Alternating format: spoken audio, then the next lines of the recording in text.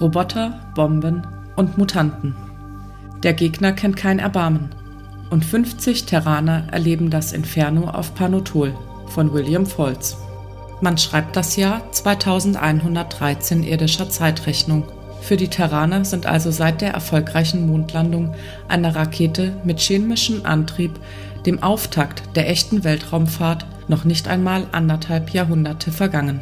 Trotz dieser nach kosmischen Zeitmaßen unglaublich kurzen Spanne hat es das von Peri Rodan geschaffene und geleitete solare Imperium fertiggebracht, zu einem Eckpfeiler galaktischer Macht zu werden. Natürlich fanden die Solarier bei ihrer sich selbst gestellten Aufgabe wichtige Helfer. Denken wir nur an den Arkoniden Crest und das Energiewesen von Wanderer, an Atlan, Hanu, die Swon und Guki, den Mausbiber. Doch wäre diese Aufgabe nie vollbracht worden ohne den selbstlosen, opferbereiten Einsatz aller, die die Sehnsucht nach den Sternen im Herzen trugen. Die neue Bedrohung aus dem Interkosmos, dem Raum zwischen den Milchstraßen, stellt allerdings alle Verantwortlichen vor ein fast unlösbares Problem.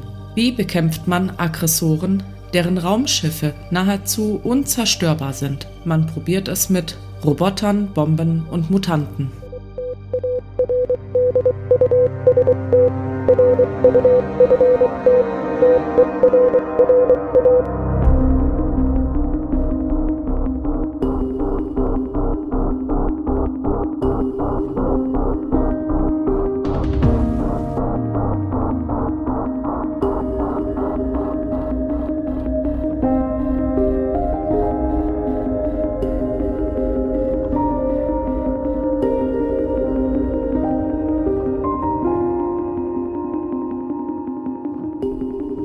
damit hallo zu einer neuen Ausgabe Stardust Ruf Terra, heute zu Roboter, Bomben und Mutanten von William Woltz, dem 133. Roman der Perirodan Heft Romanserie im Zyklus Die Postbis.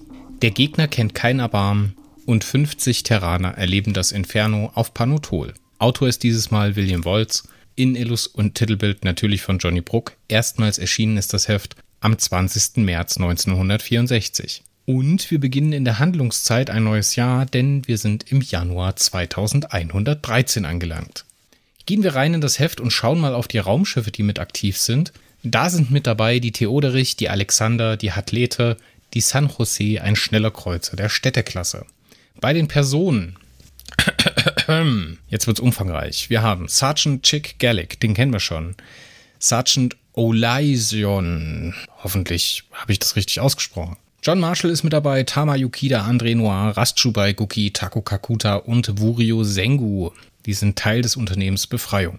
Atlan, Perirodan, Reginald Bull und Commodore Jefe Claudrin, ist mir da vielleicht sogar eine Beförderung entgangen, sind mit von der Partie. Außerdem Major Jenkins, der Kommandant des schnellen Kreuzers San Jose, Reg Thomas, erster Offizier der Theoderich, den kennen wir auch schon. Van Moders, Robotiker-Genie und bleibt der Spezialist für Postbis.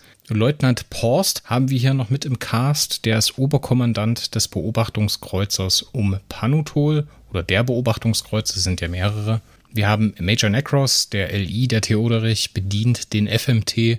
Delivery ist mit dabei, Teschmann ist dabei, Driftwood, Hansen, Dr. Bryant, Atkins, Norton, Bert Islecker ist dabei, Ruscher und Jembrowski, das sind Transmitterspezialisten und andere Terraner, die auf Panotol landen und arbeiten. Tohubal, der nicht ganz so intelligente Springer und Anführer der Wohnstation 5 und Berhan, der akonische Transmittertechniker. Und genauso wie im letzten Heft oder da, wo wir das letzte Heft verlassen haben, befinden wir uns auf der Welt Panotol. Gehen wir rein in die Handlung und starten ins erste Kapitel. Auf der Theoderich beginnen die Planungen rund um den Gegenschlag gegen die Postbis auf Panotol. Die positronisch-biologischen Roboter sind dort mit der Auswertung des Springerraumers beschäftigt. Die Terraner befürchten, dass sie durch die Auswertung der Schiffspositroniken dazu in der Lage sein werden, galaktonautische Positionsdaten der wichtigen Systeme der Milchstraße zu entdecken. Ziel muss es daher sein, die Springer zu befreien. So wie schon im letzten Band angedeutet, aber auch der Bruch aber auch die bruchgelandete Totsta 9 muss vernichtet werden. Dazu hat man sich eben einer antiken Waffe der Akoniden bemächtigt, die Atlan in den Waffenfabriken des Imperiums schnellstmöglich produzieren lässt. Die ersten 50 Stück werden an die Terraner überstellt. Die überschweren Fusionsbomben haben eine Sprengkraft von jetzt schlackert ihr gleich mit den Ohren, 600 Milliarden Vergleichstonnen TNT entsprechen also einer mittelschweren Sonnenprotuberanz. Man plant damit, die elf Fragmentraumer im entsprechenden System anzugreifen, in der Hoffnung, dass man die Bomben mit dem FMT in direkter Nähe der Würfel zur Explosion bringt und die Wirkung ausreicht, um den Feind zu vernichten. Gleichzeitig soll ein Mutantenkommando von der San Jose gemeinsam mit einer Handvoll Wissenschaftler und Techniker auf Panotol landen, die Mehando befreien und den Transmitter der Arkonen in Betrieb nehmen. Mit dem Hochleistungstransmitter soll das Einsatzteam dann zu Alexander unter dem Kommando von Oberst Pfeil springen, um zu entkommen. Atlan soll in der Zwischenzeit nach Arkon zurückkehren, um dort eine Flotte zusammenzuziehen, um den terranischen Operationen Rückendeckung zu geben. Die Befehle gehen an die bereitgestellten Einheiten der terranischen Flotte raus und die Mission kann beginnen. Zweites Kapitel. Die Kreuzer unter dem Kommando von Leutnant Porst melden, dass mittlerweile 62 Fragmentraumer auf dem Planeten Panotul niedergegangen sind. Trotz allem beginnt Perry den Einsatz mit einer Flotte von 2000 terranischen Einheiten. Sofort nach Eintreffen der Terraner beginnt das Gefecht. Binnen 10 Minuten werden fast 300 Einheiten derart schwer beschädigt, dass sie sich aus dem Gefecht zurückziehen müssen, während kein einziges Fragmentschiff draufgeht. Während die terranischen Verluste erschreckende Ausmaße annehmen, erreicht die Theoderich die ersten Abschusserfolge mit den überschweren Fusionsbomben, die mittels Fiktivmaterietransmitter ins Ziel gebracht werden. Die Theoderich versucht der San Jose einen Zugang zum Planeten freizukämpfen, als Van Moders verkündet, dass die Pospis die Theoderich als wesentliche Bedrohung erkannt haben und um Hilfe rufen. Da man nun die Befürchtung hat, dass die Pospis weitere Verstärkung erhalten werden, muss die San Jose in den Einsatz gebracht werden. Der Kreuzer setzt die 15 Mutanten und 35 Techniker auf Panotul ab und verschwindet schnellstmöglich aus der Atmosphäre, als die Hälfte der terranischen Flotte schwer beschädigt oder vernichtet ist. Drittes Kapitel. Die Landung auf dem Planeten glückt und man zieht unter während und man zieht unter, während die Teleporter und man zieht unter, während die während die Teleporter die Erkundung beginnen. Tago Kakuta und Guki finden die Springergefangenen recht schnell, die von den Pospis eingesperrt wurden. Als das gesamte Team wieder beisammen ist, erläutert Marshall seinen Plan, sich mit den neuen Robotverkleidungen und den Mentalabsorbern unter die Springer-Roboter zu mischen, um zur Zentralpositronik der Springer und dem Wrack der Totstar 9 zu gelangen, das Schiff zu sabotieren und die Positronik der Werftanlage umzuprogrammieren. Die einzelnen Gruppen des Einsatzteams nähern sich der Anlage der Springer und betreten den unterirdischen Komplex mit zugeteiltem Spezialwerkzeug. Während zwei Gruppen auf dem Anmarsch verzögert werden, erreichen 30 Mann die Werftanlage der Springer. Die Gruppe um Rast Schubai entdeckt Hinweise, dass sich ein Springer in das Kanalisationsnetz abgesetzt hat und nun von Postbis gesucht wird. Teschmann findet den Entflohenen, muss sich aber einem Roboter fügen, der den Springer abtransportiert. Doch zurück bei der Gruppe muss man den Springer wieder mit dem Roboter ziehen lassen, um die Mission nicht zu gefährden. Viertes Kapitel. Marshall kann mittlerweile nicht noch länger auf die Gruppe um Chubai warten und befiehlt, weiter vorzudringen. Doch die Gruppe gerät auf ein Sortierband. Als man diese Anlage stört, weiß man natürlich auch, dass eine, dass eine Sabotage durch die Postbis erkannt werden muss. Marshall schickt die Teleporter los, um den Programmierstreifen in die Zentralpositronik einzuspeisen. Damit soll die Totstar 9 aus der Wüste in die Werftanlage gebracht werden und damit für die Terraner zugänglich werden während die anderen Terraner sich in die Reparaturteams der Springer-Roboter eingliedern, machen sich die Teleporter auf den Weg. Man findet die Zentralpositronik problemlos und kann die Programmänderung einspeisen. Fünftes Kapitel. Marshall erreicht mit seinen Leuten und dem Reparaturteam der Roboter die Totstar 9 unbehelligt. Da sich aber bereits Postbis an Bord aufhalten, gerät der Plan, die Transmitterstation der Arkonen an die Aggregate der Totstar 9 anzuschließen, in Gefahr. Die Transmitterstation wird unversehrt in den Laderäumen der Totstar 9 gefunden, doch der Anschluss an die Aggregate der Walze, die sich mittlerweile durch Antigraf-Einsatz vom Wüstenboden erhoben hat, wird mindestens sechs Stunden dauern. Da diese Zeit im Plan eigentlich nicht mitkalkuliert ist, steht man jetzt vor dem Aus. Man hofft nun, dass sich Arkonentechniker unter den Gefangenen befinden, die eine Inbetriebnahme schneller zustande bekommen. Guki macht sich auf, um diejenigen unter den mehr als 9000 Gefangenen zu finden.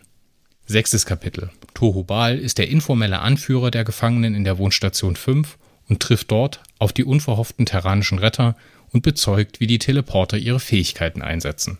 Tako Kakuta versucht die Akonen zur Kooperation zu bewegen, während Guki das Notwendige aus der Basisstation in der Wüste herbeischafft. Der Mutant offenbart, dass Perry ein Ablenkungsmanöver mit 5000 Raumschiffen fliegen wird, um den Gefangenen die Möglichkeit zu geben, zum Transmitter zu kommen. Genau in diesem Dialog platzt Rast Chubai, der seine Gruppe im Schutz der Kanalisation zurückgelassen hat. Die Akonen statten sich mit der Tarnausrüstung aus und machen sich im Huckepack-Verfahren mit den Teleportern auf den Weg. Siebtes Kapitel. Die Arbeiten am Transmitter kommen mit dem Akon schnell voran. Während weitere Verstärkungen der Postbis bei Panotol aus dem Hyperraum kommen, mittlerweile sind mindestens 40 weitere Fragmentraume aufgetaucht. An Bord der Theoderich will Peri Rodan Marshall nun warnen und zur Eile antreiben. An Bord der Theoderich will Peri Rodan Marshall nun warnen und zur Eile antreiben. Unter Marshalls Führung haben die Terraner und Arkonen Erfolg und der Transmitter kann aktiviert werden. Die Ablenkungsangriffe und Bombardierungen der Terraner beginnen mit akonidischer Unterstützung. Zwar können die Terraner, vor allem die Theoderich, Abschüsse erzielen, doch die Fragmentraumer sind haushoch überlegen und es gibt erneut schwere Verluste. Als die Theoderich nur noch 14 Bomben übrig hat, fliegt das Flaggschiff Panotol an, um dort weitere 10.000 Roboter abzusetzen, die die Postbis auf der Springerwelt irritieren sollen um eben den Gefangenen die Flucht zu ermöglichen. Auch andere terranische Schiffe setzen Roboter ab. Die Mutanten erkennen den Beginn der Ablenkung und machen sich auf, um die Gefangenen zu holen. Überraschenderweise entschließen sich die Arkon zu bleiben, anstatt die angebotene Flucht durch den aktiven Transmitter zu ergreifen. Achtes Kapitel. Rast Chubai führt schwere Diskussionen mit Springergruppen, um sie von der Flucht zu überzeugen. Denn na klar, sind die skeptisch und verstehen nicht, warum sie sich den Terranern nun unterordnen sollen. Sie würden, Sie würden nur die eine Gefangenschaft verlassen, um in eine andere zu geraten. Nach dem ernüchternden Verlauf der Raumschlacht muss sich Perry zurückziehen. Fast ein Drittel der Flotte wurde entweder zerstört oder so schwer beschädigt, dass sie nicht mehr einsatzbereit ist. Insgesamt konnten nur 8000 statt 10.000 Roboter abgesetzt werden, doch dafür hat man mit dem Einsatz des FMT 28 Fragmentraumer vernichten können. Um die Totstar 9 entbrennt nun eine erbitterte Schlacht zwischen terranischen Robotern und den Postbis. Während die Gefangenen zum Frack strömen, mit allen Mitteln wird die Beweglichkeit der Gefangenen garantiert. Insgesamt sind die Terraner nur 15 Minuten hinter dem Zeitplan. Neuntes Kapitel. Doch als die ersten Gefangenen unter Führung von Kakuta und Yukida die Totstar 9 erreichen, haben die Postbis dazugelernt und gehen nun effizient gegen das Wrack vor, anstatt sich ausschließlich mit den Robotern zu beschäftigen. Die meisten Springer erreichen die Alexander, während in der Abwehrschlacht um die Totstar 9 auch viele der galaktischen Händler im Feuer der Postbis sterben.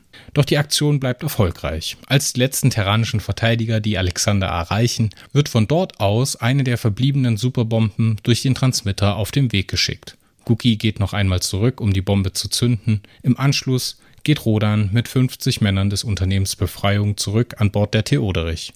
Doch abschließend kann man sich nicht sicher sein, wie viel die Postbis aus den Speicherbänken der Totstar 9 herausgeholt haben, bevor die Walze mit dem gesamten Stützpunkt explodiert ist. Das beendet den Roman und wir schauen nochmal rein ins Fazit. Als Chubai den durch die Wolken schwebenden Ild einen Engel nennt, erwidert Guki, dass man nie von schwarzen Engeln gehört habe. Uff. das, ist, das ist hammerhart. Das ist natürlich in 2024 sehr, sehr schwierig. Und ich weiß, ja, man sollte diese Romane immer im Kontext der Zeit betrachten. Heutzutage wäre das ein No-Go. Das ist jetzt was, das muss man erstmal verdauen. Atlan wird zurückgeschickt, um weitere Flotten zusammenzustellen. Ne? Dabei, ist seit, dabei ist seit dem ersten Kampf auf Panotol, dabei ist seit Dabei ist seit dem ersten Kampf auf Panotol eigentlich das gesamte terranische Flottenpotenzial und die akonidische Flotte in diesem Raumsektor versammelt. So stand es eigentlich im letzten Heft, ne? wieder so ein kleines Abstimmungsproblem. Mir schließt sich nicht ganz, warum man André Noir mit auf diese Mission gegen Roboter nimmt. Ich meine, was will der da tun? Will der da irgendjemanden hypnotisieren? Den Springer oder was? Schön und gut, dass die die retten wollen, ne? aber Dazu brauche ich ja André Noir nicht. Also verstehe ich nicht. Ich verstehe auch nicht, warum man den Einsatz auf Panotol durch die Sabotage des Springerraumes so kompliziert macht.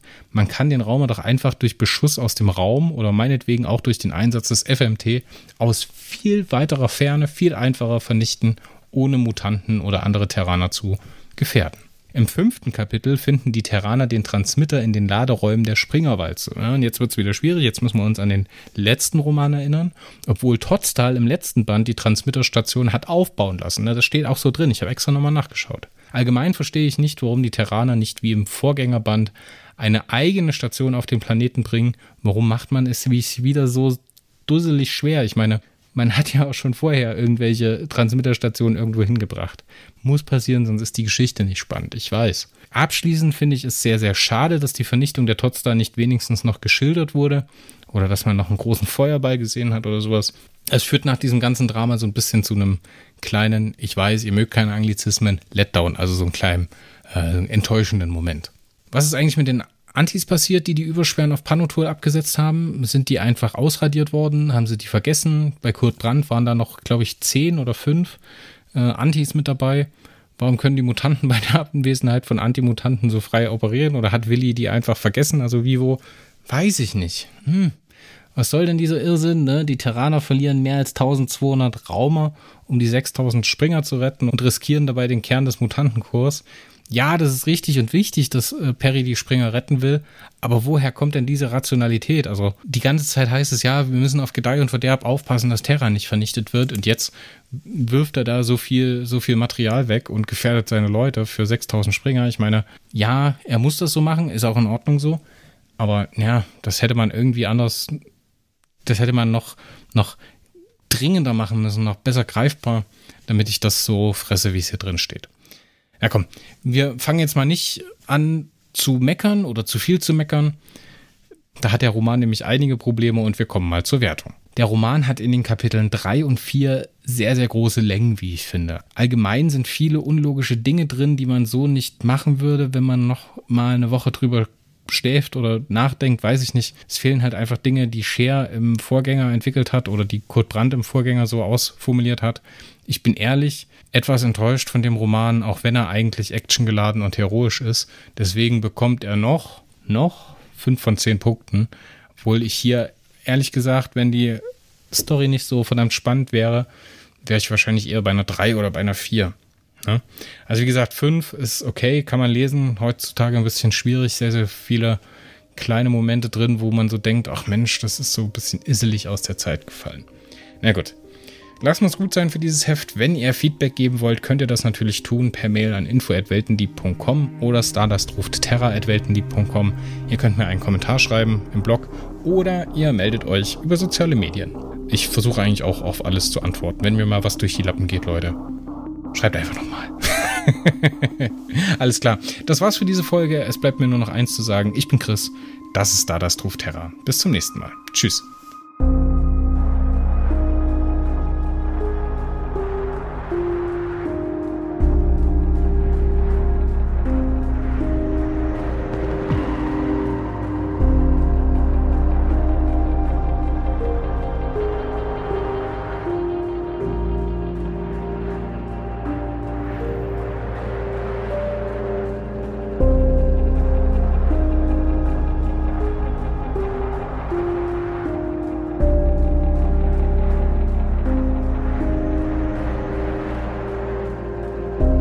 Damit den Pospis, den Angreifern aus dem Interkosmos, keine Angehörigen eines galaktischen Volkes in die Hände fallen, befahl Perirodan den Einsatz der Roboter, Bomben und Mutanten. Auch der nächste Einsatz der Raumfahrer des Solaren Imperiums geht gegen die Pospis und gegen die Kanonen von Everblack. So heißt der nächste Perirodan-Band wieder ein echter Karl Herbert Scher-Roman.